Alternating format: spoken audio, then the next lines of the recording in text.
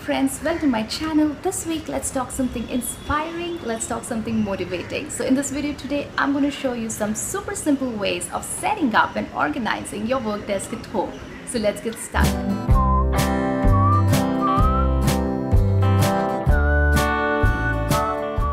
A workspace at home is like a personal spot, whether you're working or not, and it can be a space for you to not just work but also to rewind and get creative.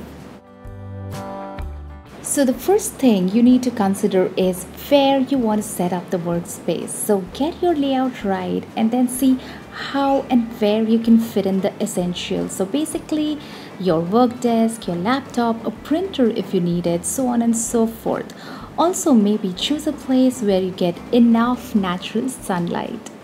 Next, keep all your office supplies handy. Now, these are the supplies that you'll keep needing all the time, so make sure they are within your reach. So, for that, you can use a nice little caddy or a stationery organizer. So, here again, have the supplies that you absolutely need and which absolutely spark joy. So, keep it minimal, keep it simple, keep it inviting and then books if you want to keep some books at your work desk have a designated spot to keep those as well next keep your workspace functional functional and efficient uh, for example your work might involve a lot of printing so maybe keep your printing supplies handy Maybe your work involves a lot of writing, so maybe have a diary handy. Use a spike guard because that way you can charge multiple cables, wires, and cords and it won't look cluttered. Another tip is to put the wires of the laptop and printer behind the table. That way it all looks neat and tidy.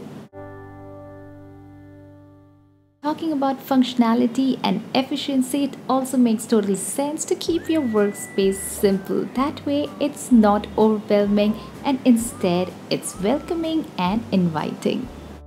Next, take care of the paper clutter because that's something that can really mess up your workspace. So, maybe have files or folders to keep all your important papers and weekly planners.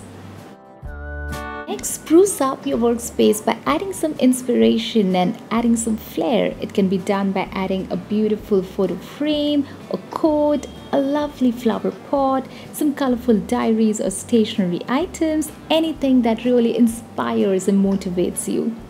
And this brings me to a very important point here customizing your workspace to your own style. Your workspace should be like a mini version of you, it should resonate with who you are and what you believe in.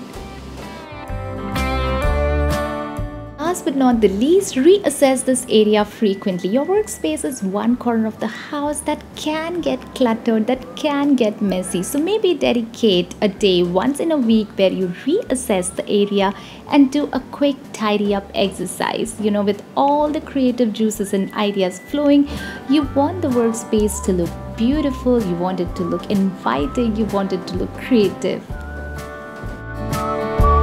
that guys. I hope you found this video useful. Give it a thumbs up if you liked watching it. Subscribe to the channel if you still haven't and i'll catch you around. Until then bye